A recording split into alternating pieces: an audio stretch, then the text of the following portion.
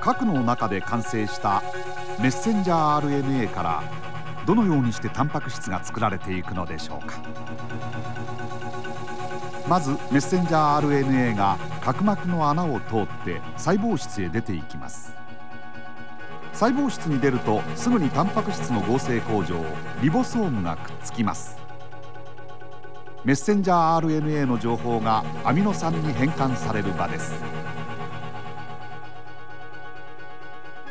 アミノ酸を運ぶのが運搬 RNA トランスファー RNA です。トランスファー RNA の端にはメッセンジャー RNA の3つの塩基に対応したアンチコドンがあり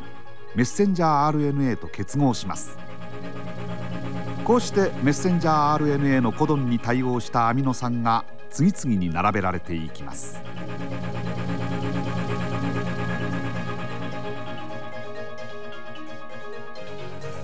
出来上がったアミノ酸の鎖は細胞質に放たれ折りたたまれて緩い立体構造をとります。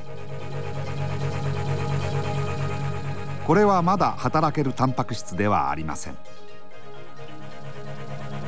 ドーナツを2つ重ねたようなタンパク質の入れ物シャペロンに押し込められぐいとねじれます。アミノ酸の鎖は正しい立体構造になりタンパク質が完成します。こうして細胞の中では必要な時必要な場所で特定の遺伝子が働き必要なタンパク質が作られていくのです。